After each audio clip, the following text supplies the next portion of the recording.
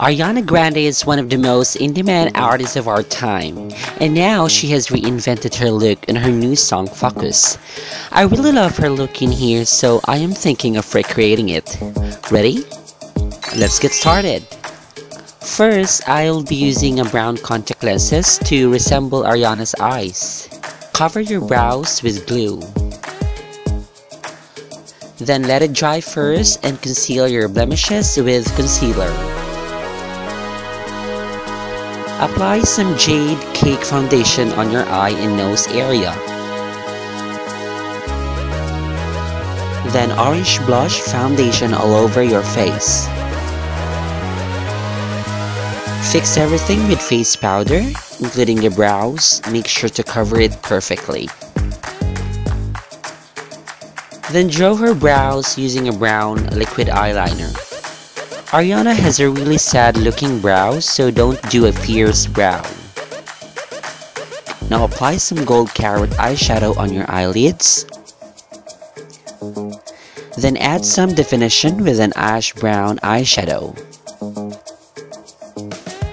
Apply some white eyeliner to make your eyes bigger. Then apply a bit of gold carrot eyeshadow under the white line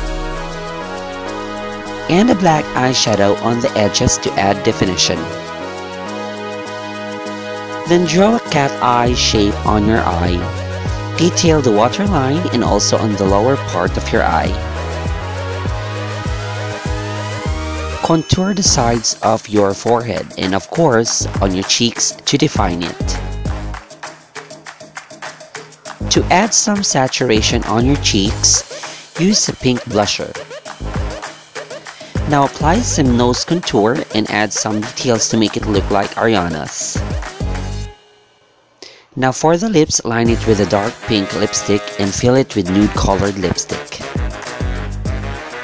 To complete the look, glue your false eyelashes. And now, you're done with the makeup. Then you just have to get your star-studded outfit and wear it.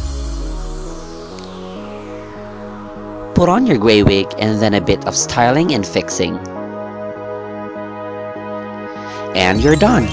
Work that focus look, girl. Now, you may transform yourself into Ariana Grande. Take a selfie, post it on Instagram, and don't forget to tag me girl at Lady Gagita Official. You can be the next featured fan on my next makeup tutorial. Thanks for watching!